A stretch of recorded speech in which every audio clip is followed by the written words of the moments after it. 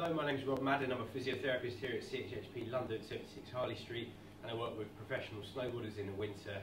Most of my background is with the British riders and the Canadian professional freestyle athletes.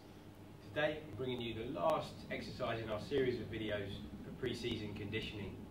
And this is a nice wood chopper exercise. All you need is a med ball, rough weight about four kilograms. If you're small and this is new to you, maybe you want to start a bit lighter, for those who are a bit stronger, you may wish to use a 6k plus ball.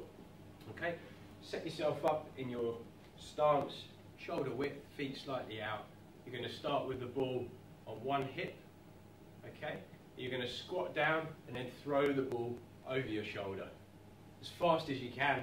Really explosive. Okay, the good thing about this exercise is it will really build your spinal tolerance to rotational load It has a really nice specificity overlap towards freestyle snowboarding, which demands a lot of rotation in the air. In terms of volume, you're going to aim to do 10 reps each side, equating to 20 total, and you're going to take just a short 15 second recovery period and aim to do